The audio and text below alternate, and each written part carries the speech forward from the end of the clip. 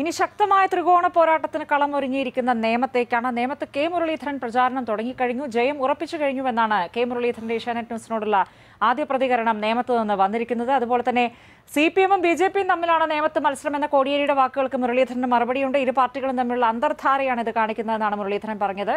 എന്തായാലും നേമത്ത് റിപ്പോർട്ടിലേക്ക്.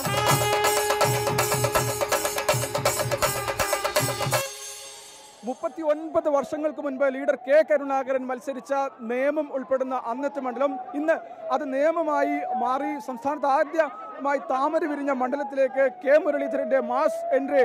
അതായത് ശക്തമായ ത്രികോണ മത്സരം നടക്കുന്ന മണ്ഡലത്തിൽ ആരൊക്കെ തമ്മിലാണ് മത്സരമെന്ന ഇരുമുന്നണികളും ഇതിനോടകം തന്നെ ചർച്ച ഉയർത്തിയ മണ്ഡലത്തിലേക്ക് ആവശ്യം നിറച്ച് യു ഡി എഫ് പ്രവർത്തകരിലേക്ക് ആവശ്യം നിറച്ച് കെ മുരളീധരൻ എത്തിയിരിക്കുകയാണ്.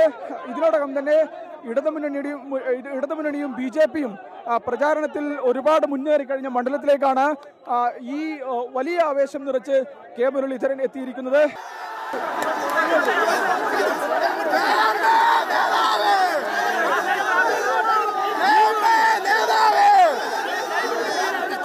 എന്നുള്ളത് വലിയ ചർച്ചയാണ്. ആരൊക്കെ തമ്മിലാണ് മത്സരം? യു- ഡി എഫ് ഒന്നാം സ്ഥാനത്ത് ഉണ്ടാവും.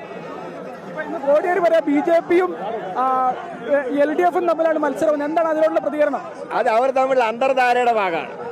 ഞങ്ങൾ ഒന്നാം സ്ഥാനത്തിന് വേണ്ടിയിട്ടാണ് മത്സരിക്കുന്നത്.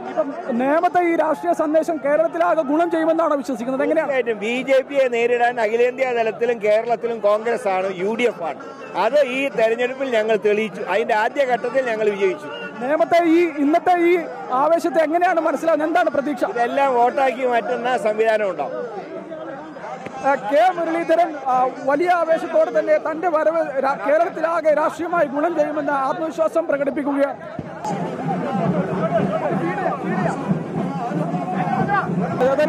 നാളെ മുതൽ സംസ്ഥാന രാഷ്ട്രീയം ഉറ്റുനോക്കുന്ന തെരഞ്ഞെടുപ്പ് പ്രചാരണം രാഷ്ട്രീയ ചർച്ചകൾ കേന്ദ്രീകരിക്കുന്ന ഇടമായി നിയമം മാറുകയാണ്.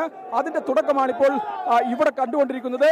ദൃശ്യങ്ങളിൽ വലിയ ഈ ആവേശത്തിന്റെ എല്ലാ അലകളും ഉയർന്നത് കാണാനാകും.